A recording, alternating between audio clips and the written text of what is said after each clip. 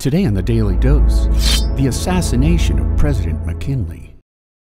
Elected president in 1896 against Democratic rival William Jennings Bryan, William McKinley successfully led the nation back to prosperity after the Panic of 1893, as well as leading the military to victory in the Spanish American War, which saw the Spanish colonies of Puerto Rico and the Philippines handed over to the United States. Re elected handily in a rematch against Bryan in 1900, McKinley was poised for another four years of high popularity, along with his second term vice president, Theodore Roosevelt.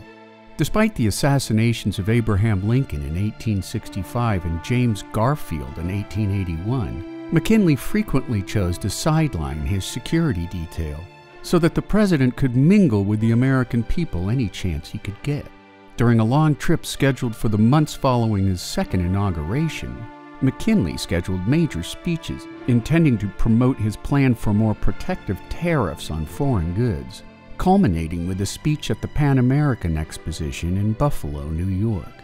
When McKinley's wife Ida became gravely ill on a cross country train trip, McKinley postponed his visit to the exposition, finally making his way to Buffalo on September 5, 1901.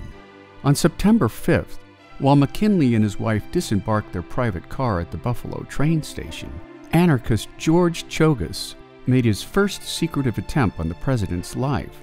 But finding McKinley too well guarded, he dropped back for a second attempt on September 6.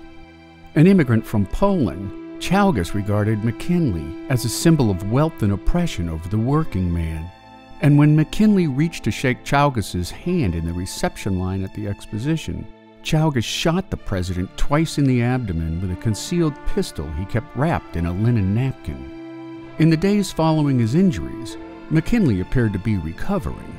However, he died of gangrene on September 14th, making him the third sitting American president to lose his life to an assassin's bullet.